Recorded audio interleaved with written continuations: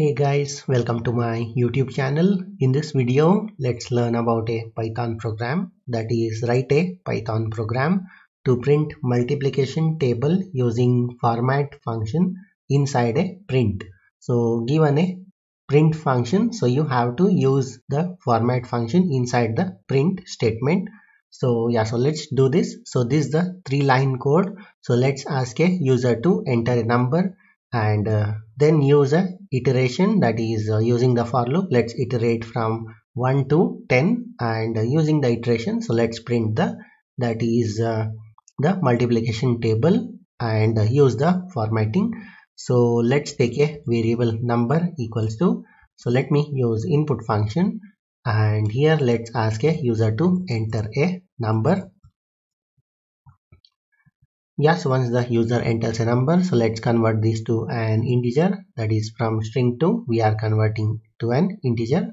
So once that is done so let's use a for loop to iterate from the 1 to the number.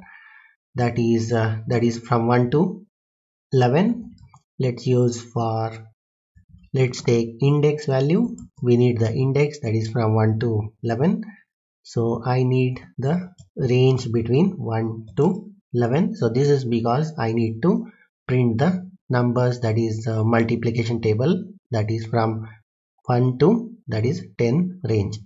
So once we get the range so we have to multiply this with the number and directly print it. So let's use a print statement. And inside the print statement so we have to use format function.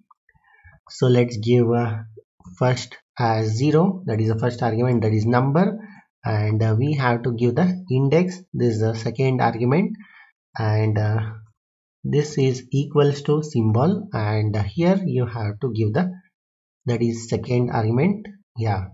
So once we give the 0 1 2 so we have to use dot format over here.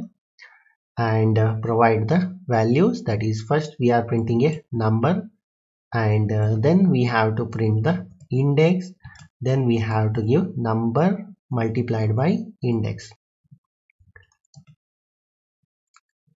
Yeah so this is a three line code to print the multiplication table using the format function inside print. So let me run this program and let me show you how it works. So enter a number. It says uh, yeah so let's give 2 and uh, you can see the multiplication table has been printed. That is uh, 2 1 2 and uh, 2 multiplied by 10 is 20 so now let me run it again.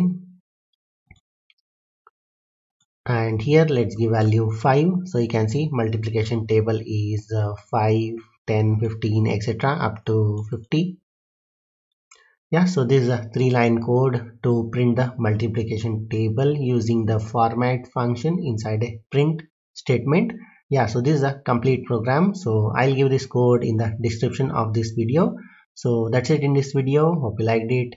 Thank you for watching. Bye